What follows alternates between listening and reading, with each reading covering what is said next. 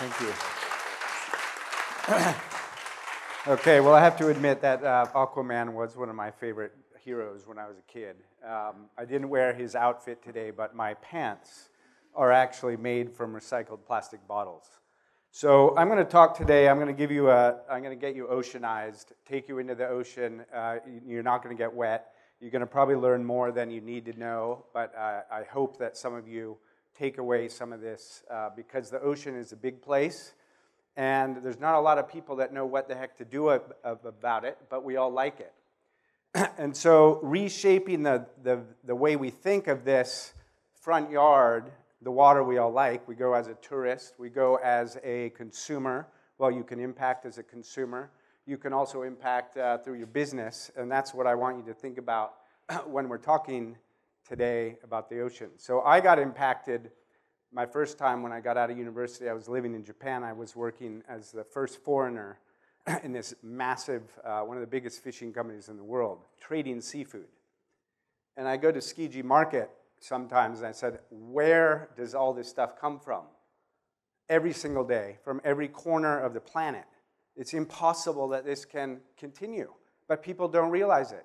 They don't know where this stuff's coming from they're just eating and going about this, and sushi is a big trend, and oh, we want to have more of that.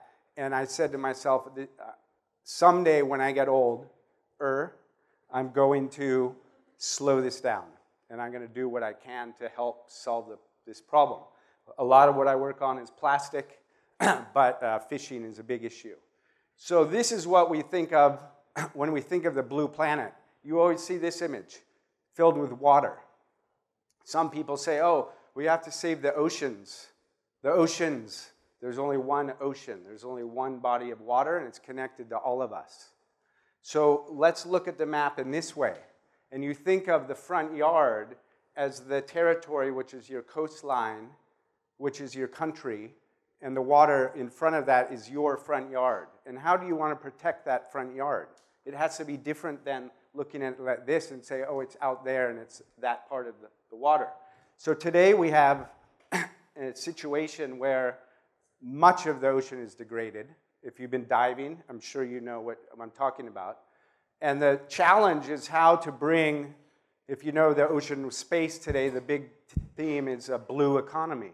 The green economy is renewable energy and everything on land. The blue economy is how to do sustainable business in the ocean environment but everyone is thinking, oh, this is another chance to exploit and make money and go do this stuff. And if we don't restore to back to where we should be or should have been 50 years ago, we're not going to be able to have this kind of scene anymore because we've already depleted all of it. so think about the front yard. I'm going to tell you about three uh, topics which are not even really discussed globally today. This is uh, stuff that we're sort of leading edge on this. Marshall Plan. Some of you probably heard about that from World War II. It was the first time that the world got together as a team, at least much of the world, and said, We're going to rebuild Europe after the World War. But we haven't joined as a team together to do something for the planet since that time. And we now need to do, or we could do this if we want, a Marshall Plan that fixes the ocean insurance. Hong Kong is big with finance. There's a big interest in financing the blue economy. How do we help sustainable aquaculture, sustainable this and that? But there's a giant gap between the environmentalists who want to do this and the bankers who think uh, they need uh, certain metrics on methodology, and that is not coming together yet. But I have going to talk to you about that. And then the positive externalities looking at the value that you create through yourself or your company and valuing the positiveness, not the negative cost associated with your work.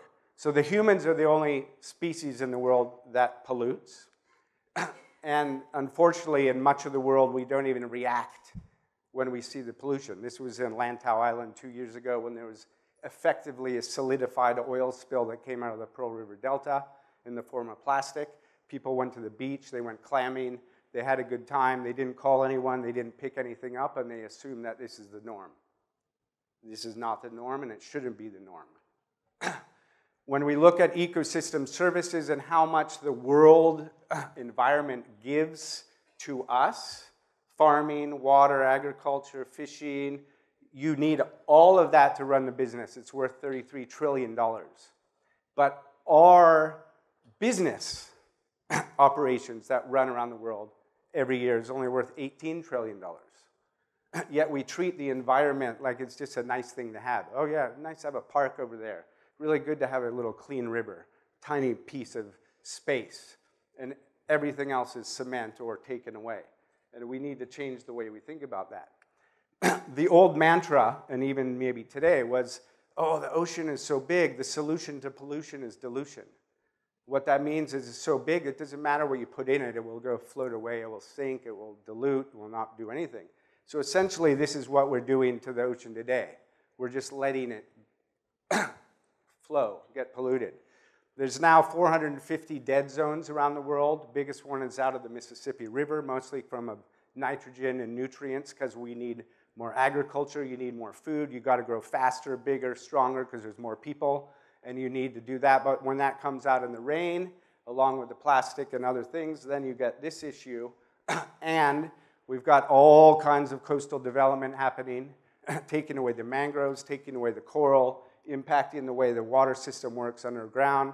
Under the water, you don't have the ecosystem. You know, we see this all over Asia and this is what is causing a big demise in the blue uh, system that we live around. 60% of the world's population lives near the coast, and if you believe in climate change, storms, maybe sea level rise, if these people don't have anywhere to make a living off of that ocean, tourism is not good, fishing is not good, and there are storm issues the biggest challenge to humanity in the future will be when they migrate inland to do something else. And no one's even talking about that today, and no one is really planning for that. You could look at Syria as a model for how that might uh, equate. We have over $30 billion in subsidies per year going to fishing, looking for less fish, smaller fish, deeper fish, farther away fish, bigger technologies, helicopters, military equipment to find more and more fish that basically take life away from over 1 billion people a day who survive on protein from the ocean. And it's not him and his dad and his mom who are doing the overfishing, it's the people in New York and Paris and Hong Kong, Tokyo, South Africa who say, oh, I want some more fish on my menu that's a different flavor than the other one instead of other kinds of food. I'm not blaming anyone, but this is the scenario that we're in. 50% of the world's aqua, uh, fishing, all protein today is aquaculture already, 50%. And that's a lot. But it doesn't mean that that's good. It doesn't mean it's taking the stress off of the fishing system or the water. If you go to plastic, some people say, wow, there's so much plastic out there. How much has been made? A few uh, just uh, visual keys on that 800,000 Eiffel Towers, down to 1 billion elephants. All of the plastic that's ever been made still exists, unless it was burned or incinerated in some way. It's still somewhere on the planet, either at the bottom of the ocean or landfill or somewhere else. the reason we have a lot of uh, plastic pollution issues is we have many countries that have unsound waste disposal. Most plastic is recyclable. You see a little label on the bottom that says, recycle me but it doesn't get recycled because the system is, does not exist in those countries. So unsound disposal means in the drain, burned in their front yard, in the river. When the rains come, that goes out, and then we have a problem. Recycling per GNP. The richer you are as a country, the more capacity you have to collect stuff, recycle it, make use of it. But only the rich countries have all of that capacity. All of the other countries don't have it. They might want to recycle. They might want to put things there. So if you're an NG, uh, if you're a multinational exporting to 180 countries, and your thing is recyclable only in California, you just send it to 179 other countries, and they can't recycle it. Mm, that's a tough issue for uh, sustainability. this is something we just uh, created on volume of air that is uh, encapsulated by rigid plastic. So if you think of plastic bottles, I don't know how many of you crunch them and shrink them before you put it in the bin, but most people do not do that.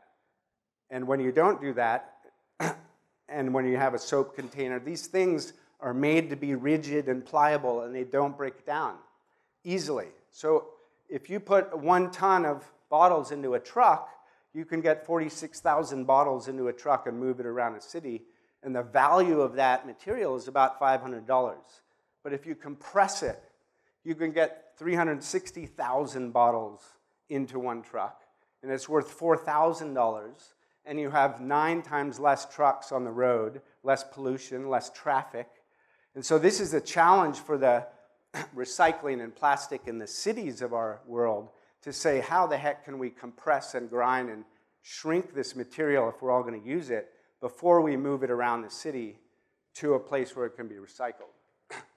this is a, a map of what the, just the plastic bottles alone would look like if they were all floating in Hong Kong harbor in one year. 1.5 billion bottles floating from basically Lei Yue Mun out to uh, to the western side of Hong Kong. That's uh, yearly. That's what we're making, not to mention the rest of the world. Rivers are a main source of uh, bleeding from plastic. You might have heard that the 10 big rivers in the world are the ones that pollute the most. That's not true. That methodology isn't quite right on that. There's thousands of rivers out there, and they're all like arteries that go to your heart. And if you think of the heart as, uh, the, well, the ocean, Think of plastic as cholesterol that goes through your veins. And if you want to stop that, go to the veins and stop the cholesterol at the source, which is up here, at least a lot easier than catching it out in the middle of the ocean. So we have an app that we made called Global Alert. Allows you to report hotspots of trash anywhere in the world waterways. And the point is to get people motivated to reshape the way they think of their front yard. Even if their front yard is not the ocean, it can be the river, the creek, the stream, or the lake. But let's put booms and nets and catchment devices to at least stop the flow of the stuff, and then people can think, oh, where did it come from? Can we stop it? Can we prevent it? Can we recycle it? but we're not even doing that as a planet just yet. So look at the front yard. Basically, the territory included in this space is 30 meters out from the shoreline actually, it's out from the shoreline down to a depth of 30 meters. That's where most of the life is.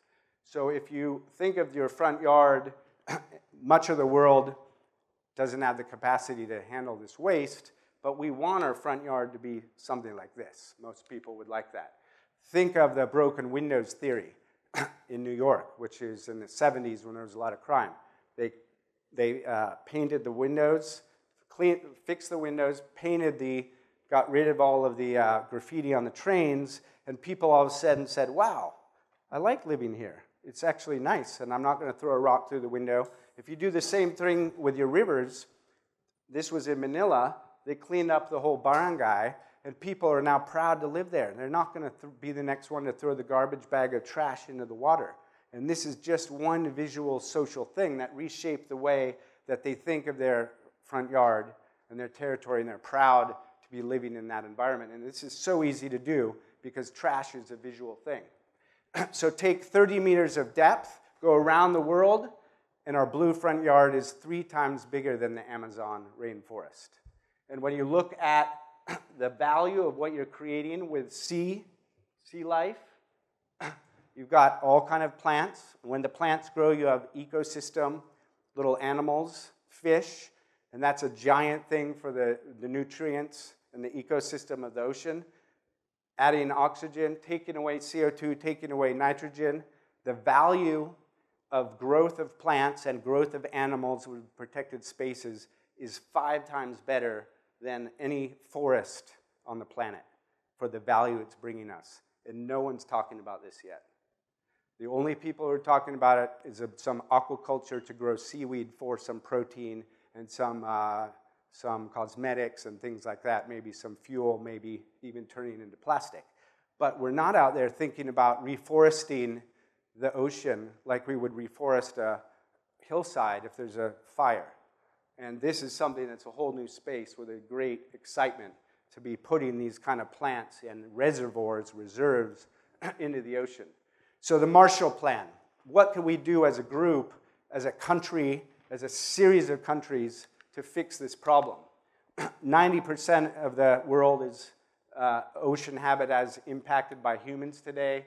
90% of all of the species, or the main species, are depleted in a major way. And so that means is we have to go backwards and give them space to regenerate before we start re-exploiting and remaking this blue economy. If you look at marine protected areas, the biomass regrowth is 400 times greater, 400% greater, with a much bigger density of uh, species that grows there. And if we're not allowing that to happen, we're not going to have the chance to do, be able to do some of the economic growth that much of the world wants to do today because the ocean is the last frontier. we need to be engaged in how we uh, work together. And this is all a huge opportunity in terms of um, economic employment for people and restoration of the coastlines, which so many of us need and like to use. Blue finance and insurance.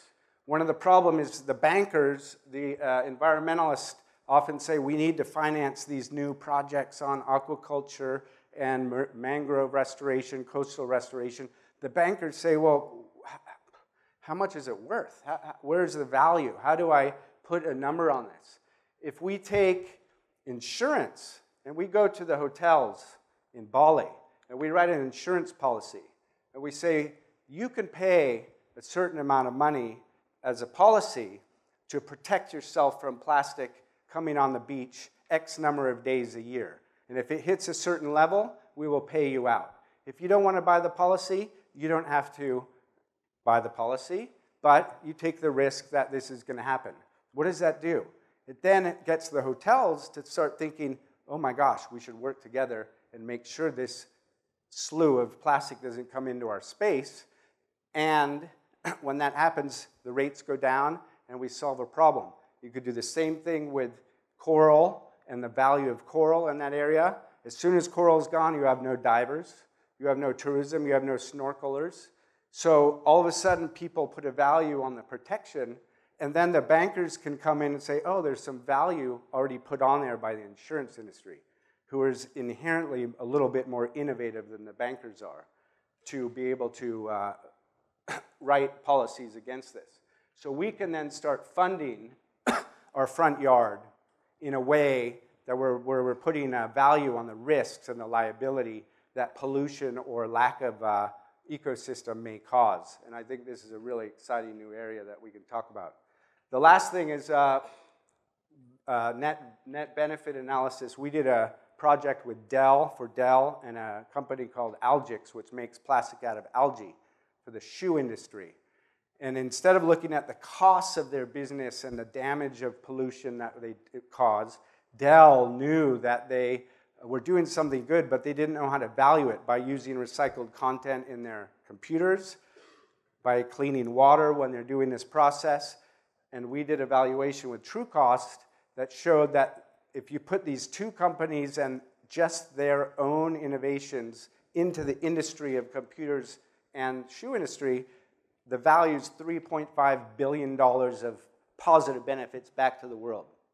And if we start thinking that way, instead of thinking, how can I do less bad, this is thanks to Bill McDonough, who's the grandfather of the cradle to cradle and circular economy. People don't like to go downhill on a negative trajectory. So think about going uphill. How can I do more good? How can I reshape things and bring my employees, bring my customers to do more good while I'm doing my business instead of trying to say, oh, I'm going to do a little bit less carbon today or a little bit less pollution. The social dynamic of changing that psychologically is great. so hopefully, doesn't matter what you do, we all touch the ocean in some way. Whether you buy, consume, tour, any business you're doing, maybe you can think of some way that you can help reshape the world with us and the ocean. Thank you very much.